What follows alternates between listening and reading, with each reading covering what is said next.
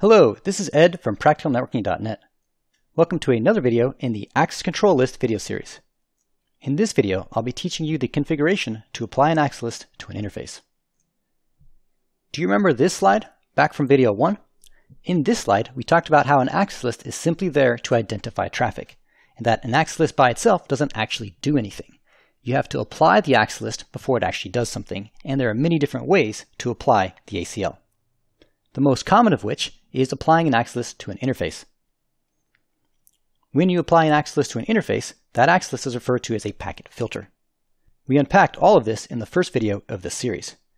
We also talked about how you can only apply an list once per interface, per direction, and per protocol. So I'm going to show you the full extent of what that means. So, so far, we've only looked at the syntax for configuring lists. Here is the syntax for actually applying an list to an interface. Note that this first set of syntax is for IPv4 traffic. Either way, you would go into interface configuration mode, and then inside interface configuration mode, you'd use the command IP access group. You'd specify the ACL ID by number or name, and then you would list the direction that you mean to filter traffic for. So for our topology over here, if you wanted to apply an access list to FA00, the syntax would look like this. I'm using the command IP access group. I'm applying access list 101, and I'm having it match traffic as it's going into that interface, meaning anything being sent from the inside segment into FA00. Now for IPv6, the command is largely similar, but it looks a little different. The only difference is simply the first part, the actual command. In v6, again, you would go into interface configuration mode, and then the command to apply an access list is IPv6 traffic filter.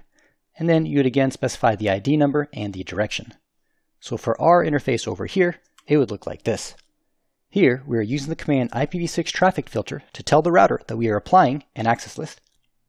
The access list we are applying is the one that we called pracnet underscore v6, and we are again applying it in direction in, so it's matching any traffic going in to that interface.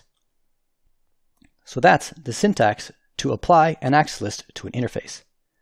Now notice, in one interface, we've applied two access lists, one for each protocol, in a single direction. Both of them are direction in.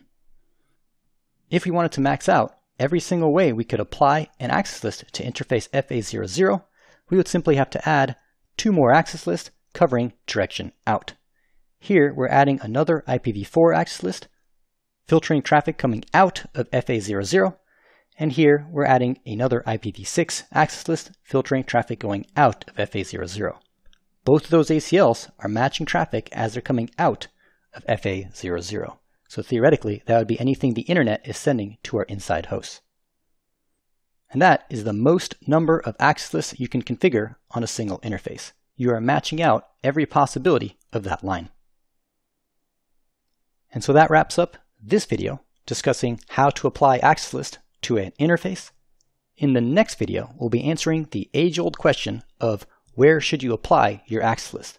Specifically, we're going to unpack the ideas of applying access lists closer to the source or closer to the destination. But that's it for this lesson. I hope you enjoyed this video.